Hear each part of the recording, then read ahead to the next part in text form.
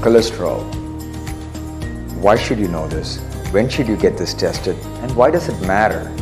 Now, cholesterol or you know, lipids, this essentially is an important component of what forms blockages in the blood vessels to the heart.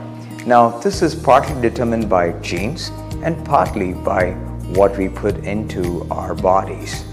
So, when should you have your cholesterol checked? Any person over the age of 20 should really know what their numbers are, like the cholesterol numbers. And oftentimes there's a misconception what is good cholesterol, what is bad cholesterol, etc. Now, HDL is good cholesterol or high density lipoprotein. Non HDL cholesterol is bad cholesterol.